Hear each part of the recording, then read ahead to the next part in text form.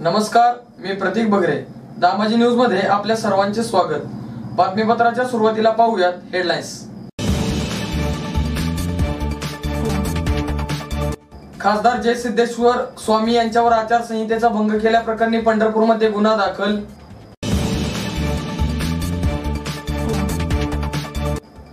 चळे ग्रामपंचायतीमधील अपहार ग्रामसेवक देवकर निलंबित. पंढरीत वाळू माफियांविरोधात कारवाई चाळीस लाखांचा मुद्देमाल जप्त.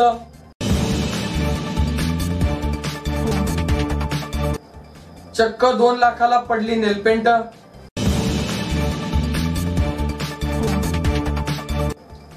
सोलापूर ग्रामीण भागात चार जणांचा मृत्यू तर तब्बल एकशे बासष्ट पॉझिटिव्ह. भारत नानांच्या जाण्याने भीमा परिवार पोरका झाला. चेअरमन धनंजय महाडिक यांचे प्रतिपादन. आता पाहूयात सविस्तर बातमीपत्र. पदवीधर मतदारसंघाच्या निवडणुकी दरम्यान पंढरीत भाजपचे खासदार जय सिद्धेश्वर स्वामी यांनी मतदारसंघात प्रवेश केला आणि आदर आदर्श आचारसंहितेचा भंग केल्याचा गुन्हा पंढरपूर पोलीस ठाण्यात दाखल करण्यात आला आहे. अत्यंत चुरशीच्या लढल्या गेलेल्या पदवीधर आणि शिक्षक मतदारसंघाच्या निवडणुकीदरम्यान हा प्रकार घडला. या दिवशी मतदान सुरू असताना खासदार जय सिद्धेश्वर महास्वामी या आपल्या पंढर पंढरपूर येथील कवटेकर प्रशालेतील एका मतदान केंद्रात गेले होते. त्यांच्या या प्रवेशाबाबत राष्ट्रवादी काँग्रेसने हरकत घेतली होती. त्यांच्याकडून आचारसंहितेचा भंग झाल्याचा आरोप करण्यात आला होता. यानंतर दुसऱ्याच दिवशी बुधवारी खासदार जय सिद्धेश्वर स्वामी यांच्यावर पंढरपूर शहर पोलीस ठाण्यात गुन्हा दाखल करण्यात आला. या प्रकरणाने राजकीय गोटात मोठी खळबळ उडाली आहे. मंगळवारी मतदान केंद्रात प्रवेश केलेल्या खासदारांनी आपण खासदार या नात्याने मतदान केंद्रात प्रवेश करू शकतो. आपणास तो अधिकार आहे असा दावा केला होता. परंतु हा दावा निरर्थक ठरला असल्याचे समोर आले आहे. मतदान शांततेत सुरू आहे का आणि कोरोनाचा नियम पाळले जातात का याची पाहणी करण्याचा अधिकार आपणास आहे असा दावा त्यांनी केला होता. राष्ट्रवादी काँग्रेसने तक्रार केल्यानंतर काही काळातच सहाय्यक निवडणूक अधिकारी अनिकेत मानोरकर यांनी खासदार स्वामी यांच्या विरोधात आचारसंहिता भंगा भंगाचा गुन्हा दाखल केला आहे. पंढरपूर शहर पोलीस ठाण्यात भारतीय दंड विधान कलम एकशे एकाहत्तर फ आणि एकशे अठ्ठ्याऐंशी नुसार हा गुन्हा दाखल करण्यात आला आहे. हा गुन्हा दाखल झाल्याने जनमानसाचा कायद्यावरील विश्वास आणखी बळावला आहे. चळे तालुका पंढरपूर ग्रामपंचायतीमध्ये अपहार केल्याबद्दल ग्रामसेवक पी एस देवकर यांच्यावर निलंबनाची कारवाई करण्यात आली आहे. जिल्हा परिषदेचे मुख्य कार्यकारी अधिकारी दिलीप स्वामी यांच्याकडून ही कारवाई करण्यात आली असून ही कारवाई तालुक्यातील वादग्रस्त ग्रामसेवक मंडळींचे ताब्यात आणली आहे. ग्रामसेवक देवकर यांच्या विरोधात चेडेगावच्या सरपंचानेच तक्रार केली होती. ग्रामपंचायतीच्या बँक खात्यातून ग्रामसेवकाने परस्पर रक्कम हडप केल्याचा आरोप करण्यात आला होता. या तक्रारीमुळे वातावरण चांगले ढळून निघाले होते. या प्रकरणी तपास करण्यासाठी मोहोळ येथील विस्ताराधिकाऱ्यांची नेमणूक करण्यात आली होती. ग्रामसेवक देवकर यांच्याकडून तपास अधिकाऱ्यास कोणतेही सहकार्य मिळाले नाही. चौदाव्या वित्त आयोगातून केलेल्या खर्चाचा तपशील मिळाला नाही. किंबहुना या खर्चाबाबत कोणतीही माहिती देण्यात आली नाही. यामुळे सरपंचांनी केलेल्या आरोपात तथ्य असल्याची खात्री झाली. ग्रामपंचायत कारभारातून दिसत दिसून आलेली बेशिस्त आणि चौदाव्या वित्त आयोगातील खर्चामधील अपवार झाल्याचा ठपका देवकर यांच्यावर ठेवण्यात आला आहे. जिल्हा परिषदेचे मुख्य कार्यकारी अधिकारी दिलीप स्वामी यांनी ग्रामसेवक देवकर यांना सेवेतून निलंबित करण्याचे आदेश दिले आहेत. पंढरपूर तालुक्यातील सरकोली येथे वाळू माफियांविरोधात मोठी कारवाई करण्यात आली असून या कारवाईत सुमारे चाळीस लाखांचा मुद्देमाल जप्त करण्यात आला आहे. ही घटना बुधवारी पहाटे घडली असून यामध्ये आठ आरोपींवर गुन्हे दाखल करण्यात आले आहेत. सुधीर उर्फ छोटू सागर माने जीवन दत्तात्रय भोसले नवनाथ सुरेश भोसले नितीन धोंडेराम भोसले सचिन तुकाराम भोई कल्याण भोसले सोमनाथ विठ्ठल भालके सर्वजण राहणार सरकोली तालुका पंढरपूर. तसेच सूरज अर्जुन माने राहणार शंकरगाव तालुका पंढरपूर अशी या घटनेतील आरोपींची नावे आहेत.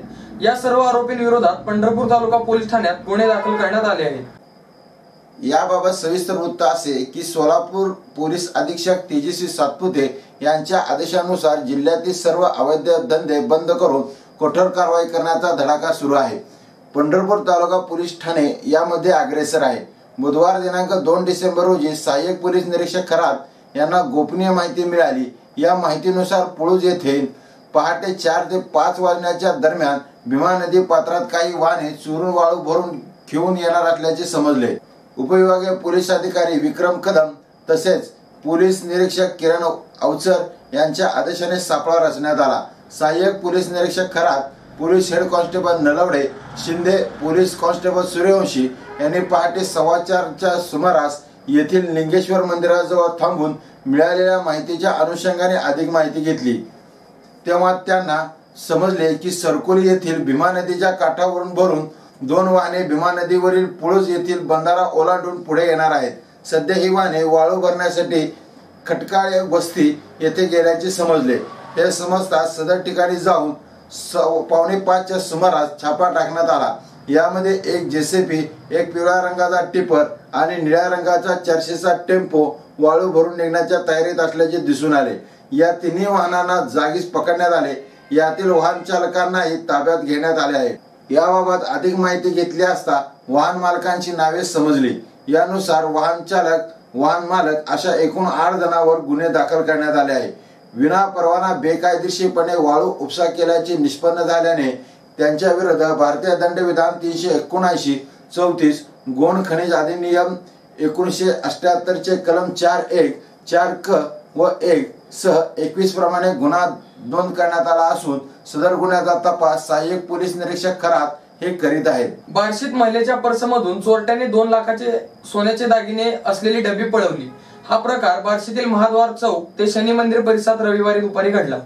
उर्मिला रमेश जाधववर वय चोवीस राहणार अलीपूर रोड या पतीसह गाडीवरून नातेवाईकाच्या कार्यक्रमासाठी जात असताना महाद्वार चौकात रस्त्यावरील हातगाड्यावर नेलपेंट व बांगडा घेण्यासाठी थांबल्या असताना चोरट्याने नजर चुकून त्यांच्या पर्समधील सोन्याचे दागिने असलेली डबी पळवली.